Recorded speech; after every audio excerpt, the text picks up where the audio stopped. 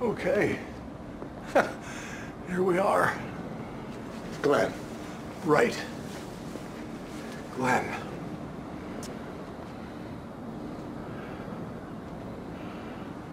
Glen was... so many different things. A son, civil servant,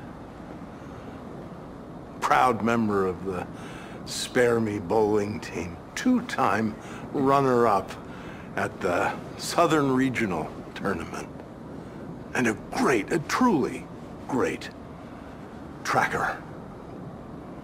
But he was... Oh, brother. He was a lot more than that. Glen was infuriating, insulting, just so maddening. He was a hedonist, chauvinist, a liar, a cheat. But there was one thing Glen was not.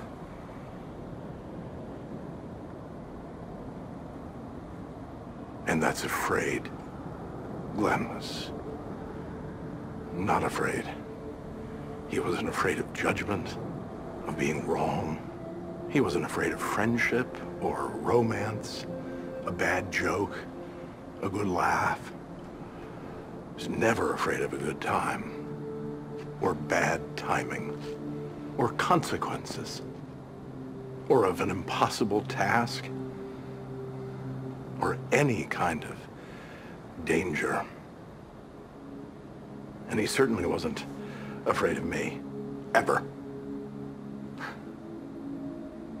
No matter how hard or unfair life was to Glen, Glen loved life back.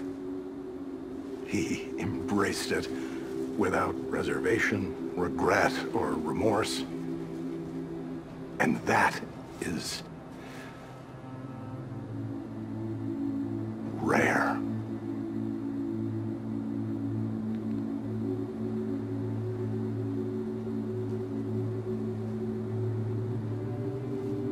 I wish... I wish more people were unafraid like Glen.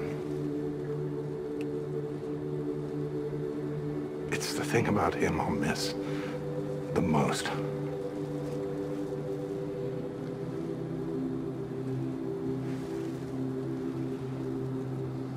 And I hope it'll be some time before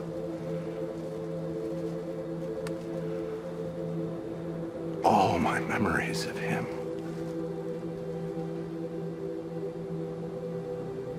start to fade.